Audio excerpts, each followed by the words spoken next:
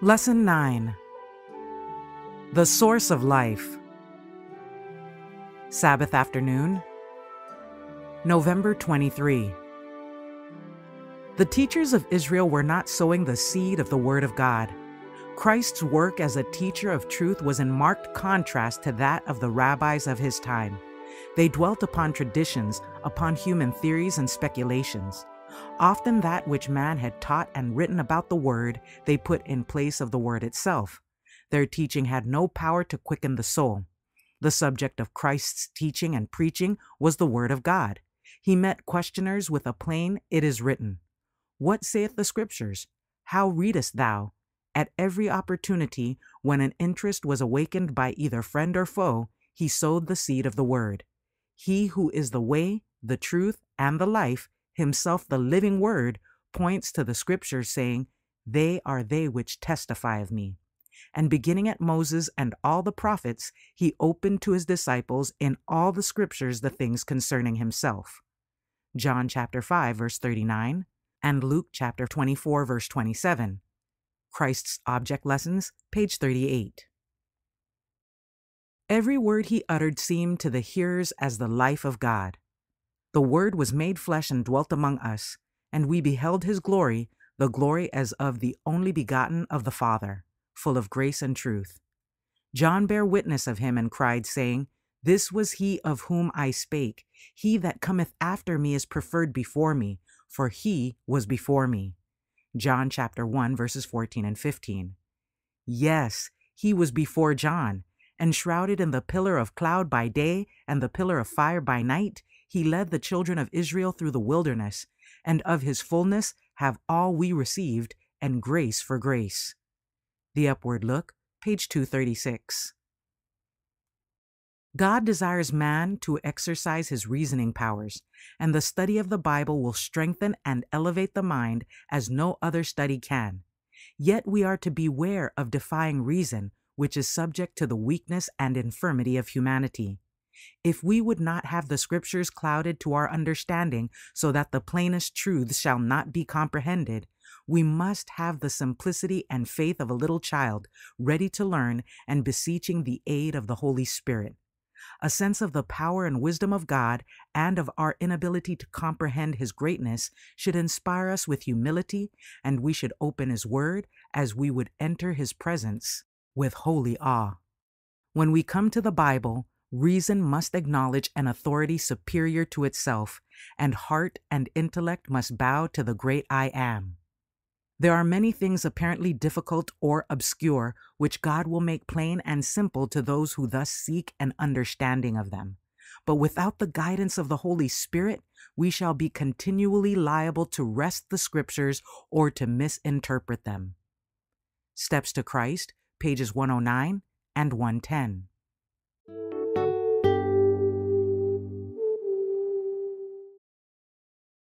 Sunday, November 24. In him was life. The love of God was Christ's theme when speaking of his mission and his work. Therefore doth my Father love me, he says, because I lay down my life that I might take it again. John chapter 10 verse 17. My Father loves you with a love so unbounded that he loves me the more because I have given my life to redeem you. He loves you and he loves me more because I love you and give my life for you. Well did the disciples understand this love as they saw their Savior enduring shame, reproach, doubt, and betrayal as they saw his agony in the garden and his death on Calvary's cross. This is a love the depth of which no sounding can ever fathom. As the disciples comprehended it, as their perception took hold of God's divine compassion, they realized that there is a sense in which the sufferings of the Son were the sufferings of the Father. That I may know him, page 69. When the voice of the mighty angel was heard at Christ's tomb saying, Thy Father calls thee, the Savior came forth from the grave by the life that was in himself. Now was proved the truth of his words I lay down my life that I might take it again. I have power to lay it down, and I have power to take it again. Now was fulfilled the prophecy he had spoken to the priests and rulers Destroy this temple, and in three days I will raise it up. John chapter 10 verses 17 and 18 and chapter 2 verse 19. Over the rent sepulchre of Joseph, Christ had proclaimed in triumph, I am the resurrection and the life. These words could be spoken only by the deity. All created beings live by the will and power of God. They are dependent recipients of the life of God. From the highest seraph to the humblest animate being, all are replenished from the source of life. Only he who is one with God could say, I have power to lay down my life, and I have power to take it again. In his divinity, Christ possessed the power to break the bonds of death. The Desire of Ages, page 785. All created beings live by the will and power of God. They are recipients of the life of the Son of God. However able and talented, however large their capacities, they are replenished with life from the source of all life. He is the spring, the fountain of life. The life which he had laid down in humanity, he again took up and gave to humanity. I am come, he says, that they might have life and that they might have it more abundantly. Christ became one with humanity, that humanity might become one in spirit and life with him. By virtue of this union in obedience to the Word of God, his life becomes their life. He says to the penitent, I am the resurrection and the life. Sons and Daughters of God, page 237.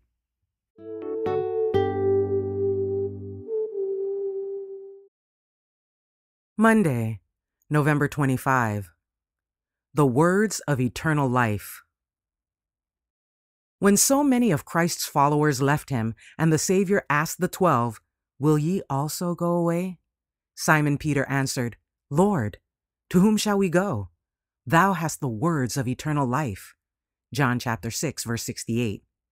It filled Christ's heart with sorrow to see anyone leaving him because he knew that faith in his name and in his mission is man's only hope. This desertion of his followers was a humiliation to him. Oh, how little human beings know of the sorrow that filled the heart of infinite love when such things took place. Well might the disciples say, Lord, to whom shall we go? Thou hast the words of eternal life. Consider what Christ was, the Son of the highest, yet a man of sorrows and acquainted with grief. Have we experienced the blessing that comes from trusting Him with the whole heart and honoring Him by ever showing our love and devotion to Him? Christ is hungry for fruit, fruit that will appease His hunger of soul in our behalf. It is His desire that we bear much fruit. Let us keep our hearts open to His love. What shall it profit a man if he shall gain the whole world and lose his own soul? Mark chapter 8, verse 36. Oh, when we can speak understandingly the words spoken by Peter Lord, to whom shall we go? Thou hast the words of eternal life. Wonderful blessings will come to us. This Day with God, page 189.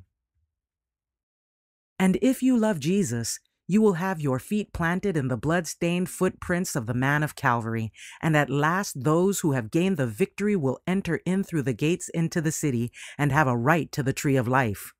God has given us reasoning faculties, and He wants us to use them. He has given us a chart which marks out for us the only right way to reach eternal life. Study the scriptures for yourselves. Hear what the voice of the true shepherd says to you, and then walk in the path of humble obedience, and at last the gift of eternal life will be granted to you. We cannot afford to lose eternal life. May God grant that we may meet this dear people around the great white throne and with them sing the song of redemption in the kingdom of glory. The Review and Herald, June 10, 1890, Paragraph 13. These words spake Jesus and lifted up his eyes to heaven and said, Father, the hour is come. Glorify thy Son, that thy Son also may glorify thee. As thou hast given him power over all flesh, that he should give eternal life to as many as thou hast given them. And this is life eternal, that they might know thee, the only true God, and Jesus Christ, whom thou hast sent. The right knowledge of the truth, God, and of Jesus Christ, the world's Redeemer, brings eternal life to the receiver. Spiritual life in this human existence and eternal life in the kingdom of God. Manuscript Releases, Volume 6, page 233.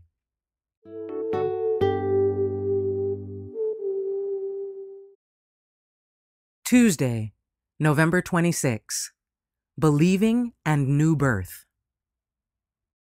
The old nature, born of blood and the will of the flesh, cannot inherit the kingdom of God. The old ways, the hereditary tendencies, the former habits must be given up, for grace is not inherited. The new birth consists in having new motives, new tastes, new tendencies. Those who are begotten unto a new life by the Holy Spirit have become partakers of the divine nature, and in all their habits and practices, they will give evidence of their relationship to Christ. When men who claim to be Christians retain all their natural defects of character and disposition, in what does their position differ from that of the worldling?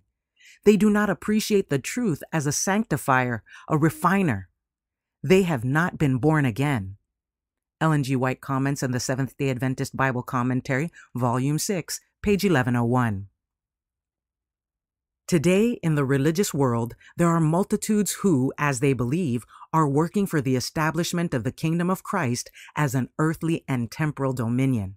They desire to make our Lord the ruler of the kingdoms of this world, the ruler in its courts and camps, its legislative halls, its palaces and marketplaces. They expect him to rule through legal enactments enforced by human authority. Since Christ is not now here in person, they themselves will undertake to act in his stead, to execute the laws of his kingdom. The establishment of such a kingdom is what the Jews desired in the days of Christ. They would have received Jesus had he been willing to establish a temporal dominion to enforce what they regarded as the laws of God and to make them the expositors of his will and the agents of his authority. But he said, My kingdom is not of this world. John chapter 18, verse 36. The Desire of Ages, page 509. In this age, the Word of God is not considered reliable. The Word of Christ that cuts directly across human desires and indulgences and condemns popular habits and practices, the Word which was made flesh and dwelt among us, is ignored and despised. The teachings and example of Christ are not made the criterion for the life of the professed follower of Christ. Many who name the name of Christ are walking in the light of the sparks of their own kindling rather than following in the footsteps of their professed master. They do not represent the same character that Christ represented in his pure, sincere love to God and in his love for fallen man. They do not take God at his word and identify their interests with Jesus Christ. They do not form the habit of communing with Jesus, of taking him as a guide and counselor, and thus learn the trade of living a well defined Christian life. The result of the internal operation of the Holy Spirit is demonstrated in the outward conduct. The life of the Christian is hid with Christ in God, and God acknowledges those who are his, declaring, Ye are my witnesses. They testify that divine power is influencing their hearts and shaping their conduct. Lift Him Up, page 124.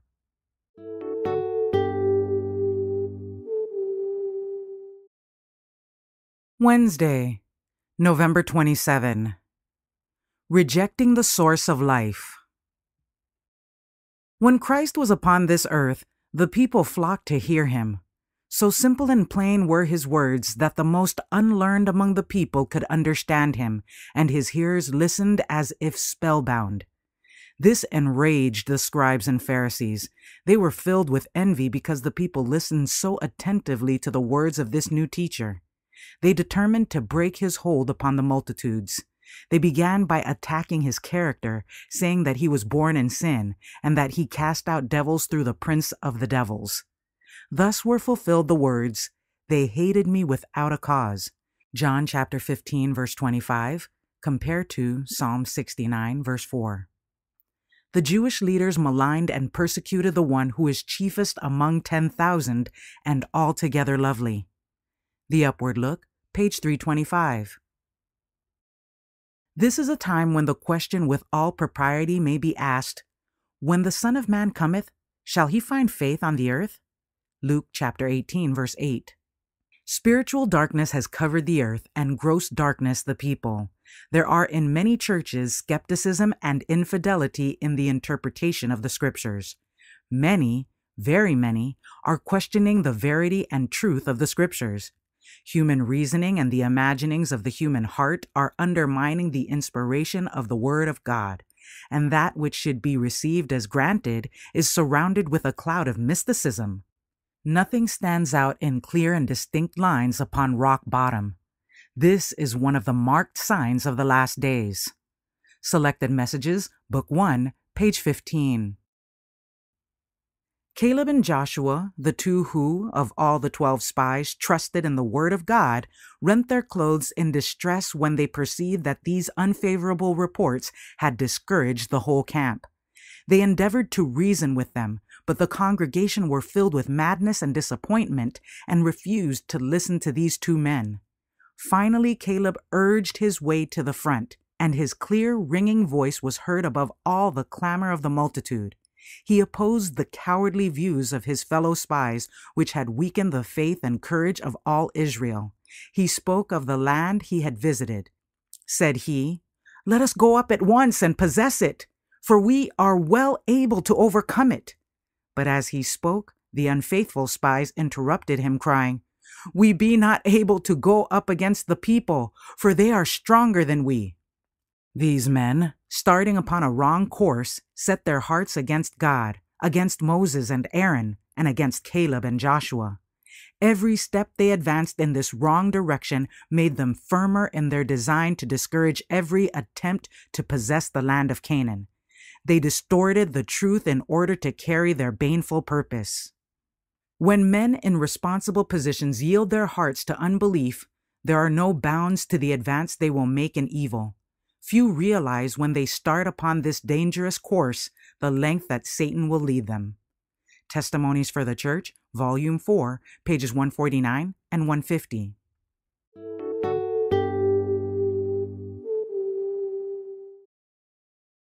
Thursday, November 28.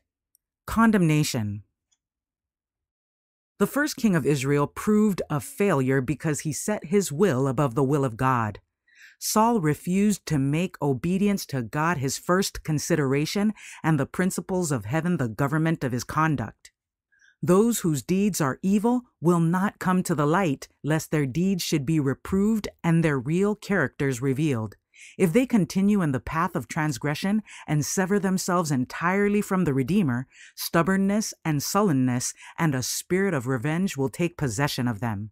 As Saul resisted the reproofs of the servant of the Lord, this spirit took possession of him. He defied the Lord, he defied his servant, and his enmity toward David was the outworking of the murderous spirit that comes into the heart of those who justify themselves in the face of their guilt. Ellen G. White comments in the Seventh day Adventist Bible Commentary, Volume 2, page 1017. John's favorite theme was the infinite love of Christ. He understood the character and work of Jesus, and when he saw his Jewish brethren groping their way without a ray of the Sun of Righteousness to illuminate their path, he longed to present to them Christ, the light of the world. The faithful apostles saw that their blindness, their pride, superstition, and ignorance of the Scriptures were riveting upon their souls fetters which would never be broken. The prejudice and hatred against Christ which they obstinately cherished was bringing ruin upon them as a nation and destroying their hopes of everlasting life. But John continued to present Christ to them as the only way of salvation. The evidence that Jesus of Nazareth was the Messiah was so clear that John declares no man needs to walk in the darkness of error while such light is proffered him. The Sanctified Life, pages 62 and 63. When Jesus entered the wilderness, he was shut in by the Father's glory. Absorbed in communion with God, he was lifted above human weakness. But the glory departed, and he was left to battle with temptation. It was pressing upon him every moment. His human nature shrank from the conflict that awaited him. For forty days he fasted and prayed. Weak and emaciated from hunger, worn and haggard with mental agony, now was Satan's opportunity. Now he supposed that he could overcome Christ. Though Jesus recognized Satan from the beginning, he was not provoked to enter into controversy with him. He rested in his Father's love. He would not parley with temptation. Jesus met Satan with the words of Scripture. It is written, he said. In every temptation, the weapon of his warfare was the Word of God. Satan demanded of Christ a miracle as a sign of his divinity, but that which is greater than all miracles, a firm reliance upon a thus saith the Lord, was a sign that could not be controverted. So long as Christ held to this position, the tempter could gain no advantage. The Desire of Ages, pages 118 to 120.